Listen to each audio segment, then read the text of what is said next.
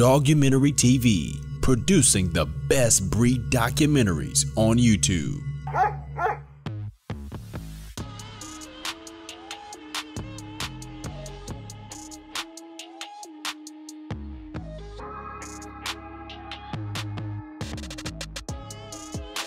Hi there, Zeke. Uh, my name's Terry Chamberlain. I'm from uh, South East East of England in Lingfield, and uh, I'm a Chinese red dog owner. I own Boise. Well, the reality was I was searching for a, a, a good home dog with a protective streak, you know, for home security, and also a good family dog.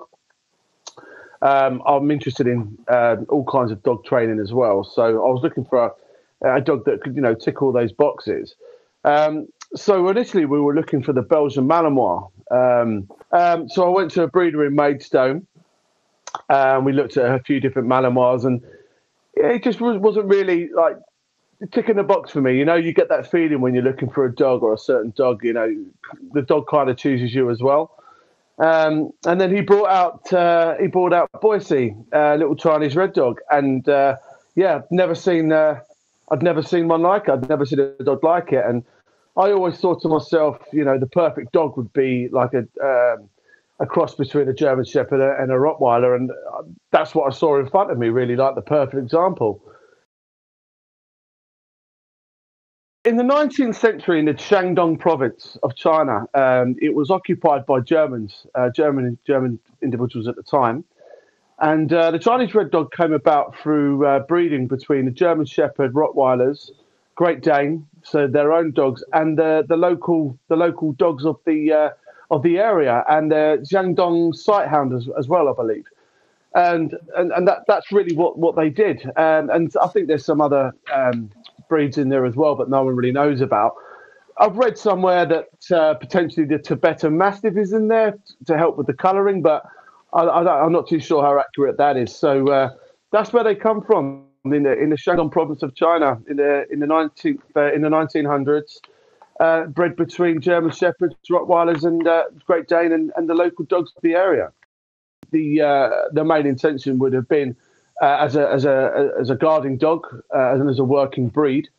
Um, but uh, I'm not too sure the answer to that one. I mean, the, the, the, crosses that they've got in there, you know, you know, you bring the Rottweiler in there, so you've got the um, you've got the strength and you've got the good defence drive um, and the sturdiness, and um, the German Shepherd is obviously very athletic. So I, I, would say it was generally to have a, a, good cross between between the two to, to act as a, a, a good working dog.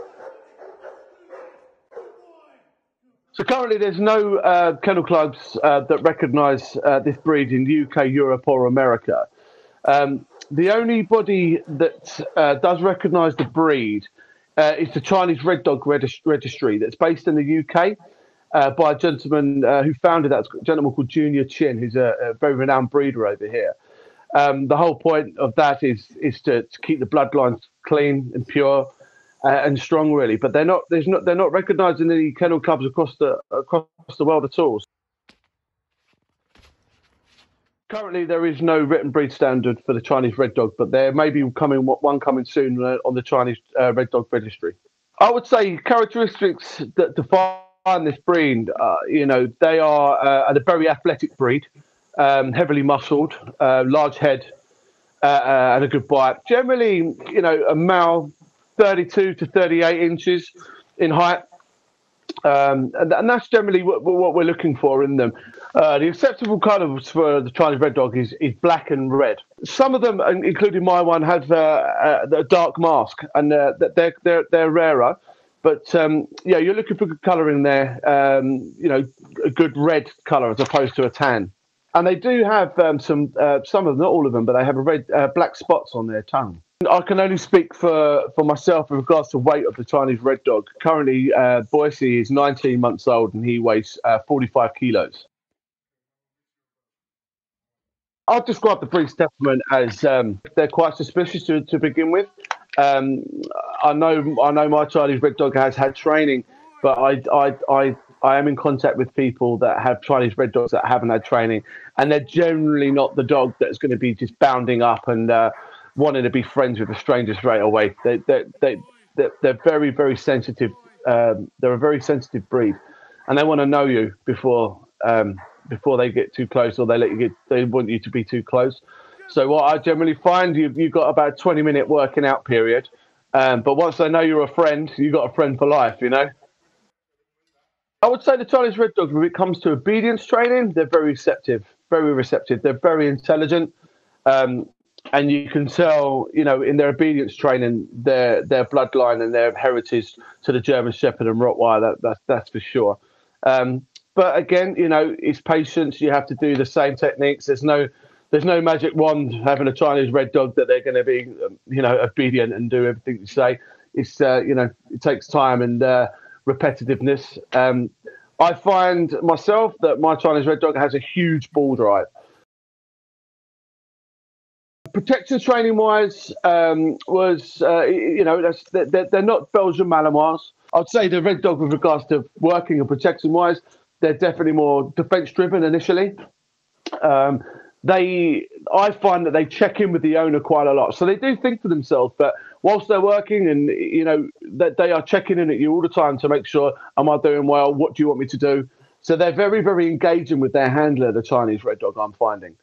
Um, Prey Drive, I will definitely have to tilt my hat here to Danny Lyons from Britannia Britannia Canines.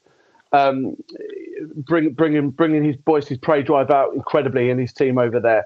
Um, that was that was something that we believed was going to be a challenge in the beginning. I'm happy with uh, uh a, a, a defence driven dog because that, that's what he's there for for me. With regards to any special provisions I've had to put in place for my Chinese red dog, nothing more than you do for any other dog really. So there's a protocol when people come into my home. Uh, if you do not know, if you do not know my dog, don't just run up to my dog. Um, you have to let my dog work you out. Um, he he checks in on myself and my partner, and uh, and then he'll come to you. Um, that is the rule when people come into my home. Um, with regards to fences, etc., just your normal, you know, what anyone else would do with an athletic dog, high fences, um, but nothing more than that, really. Nothing more than that. Provisions when you're outside.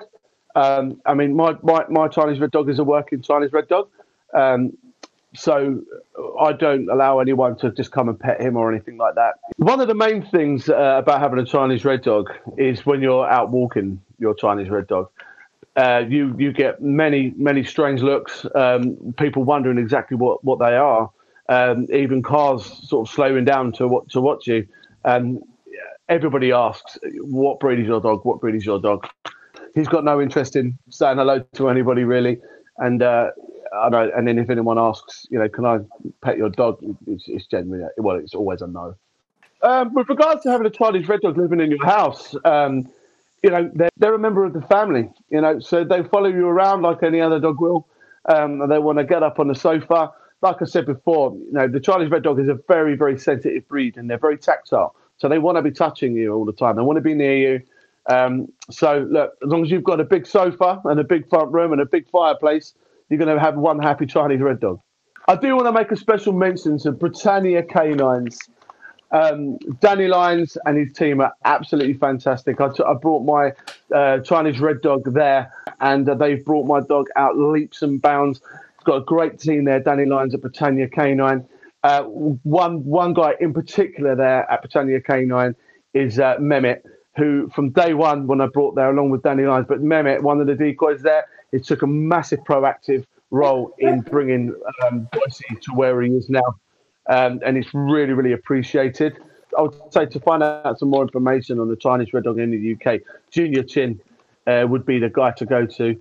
Uh, very very knowledgeable, very knowledgeable guy, and also Junior Chin, I believe, is the founder of the uh, Chinese Red Dog Registry that's in the UK on Facebook. We have the uh, Chinese Red Dog New Family Group on Facebook. And we also have the Chinese Red Dog UK Facebook group.